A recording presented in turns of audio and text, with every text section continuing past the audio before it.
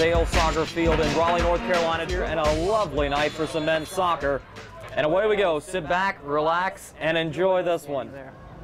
Here come the Wolfpack the other way. Pass through to towards Surkamp. Works out wide, tries to send a cross into the box. Uzo heads it out.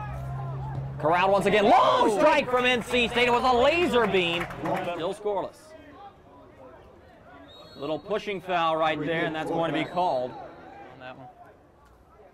Here's the free kick. Ends up curling in. Solid defensive play by the Chanticleers. Could have sprung a couple players forward. Wanamiller coming back the other way, and he had his shot blocked off. Surkamp sends it up in the air. Wanamiller brings it down. Here's an opportunity. Wanamiller across! And it never made it to the net. A solid block shot right there. It's appearing to me that Coastal's going to be able to make something out of nothing on some of these plays. Another- Coastal's offense is very determined. Another quick play off the corner. Opportunity. A header goes in! Coastal has the first goal of the match. It'll be controlled, brought down. Chanticleers looking for a long strike, and scored! Surprise shot straight into the back of the net, and Coastal Carolina has scored again, and they're up a deuce. Here goes Follinsby. He's got a good run on it. Follinsby with a cross.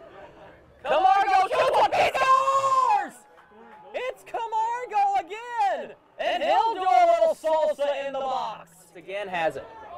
Lays it forward. Good curl on the ball. Steps up State. Trying to make a run at it. To the goal. And roll through the goal. Griezmann, no! Drops this one back for Dargen. Surkamp gets a little help with a steal. Opportunity going the other way. It's Holden Fender. Rolls it in front. State taps it in! Watermiller!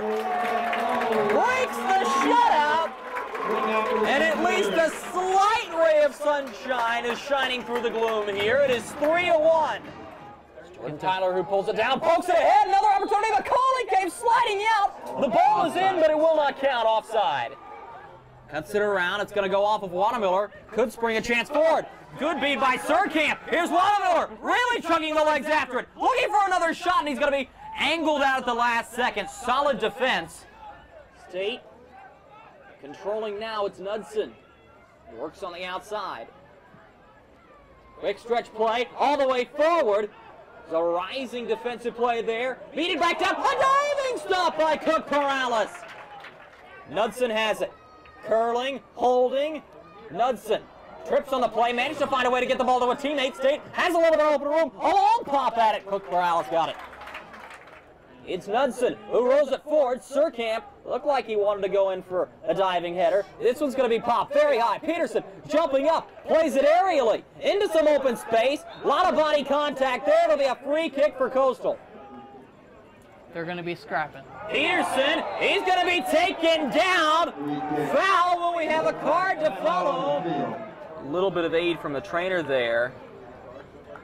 We'll see who NC State's going to send in as a sub. The game so far.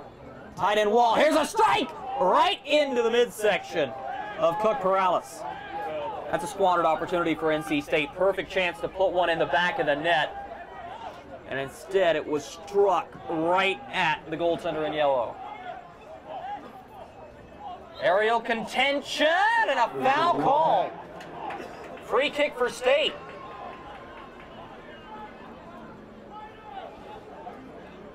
This is going to be moved quickly forward. That was allowing his offense to get set up downfield. They're going to roll it ahead.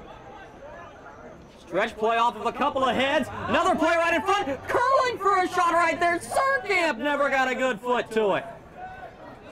Well, the effort's been there all night from number nine. The execution has not. This one, lollipop up in the air.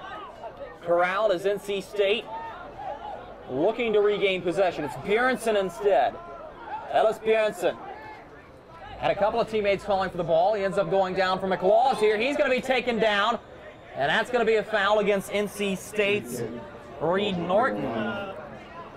And it looks like we may have another injury as McLaws is a little shaken up on the play.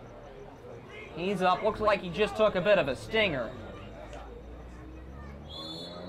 Reed Norton was not afraid to voice his frustration on that previous call either. Bjornsson sends that one wide of the box, and another one is popped back into the softball complex high. So this will be McCauley with another kick out for Jackson Atogi. Lost Jackson Atogi sends this one high up in the air. As Gunmanson with the play on the ball. Bjornsson has it once again, leads Jordan Tyler forward, but a little too much. The Chanticleers will next travel to Buies Creek, North Carolina to take on the Campbell University Camels. And then they will return home to face Presbyterian. Uh, NC State will host a newcomer to the ACC, Louisville, coming up. Then Gardner Webb before going back on the road up in Chestnut Hill to face Boston College. That concludes tonight's match.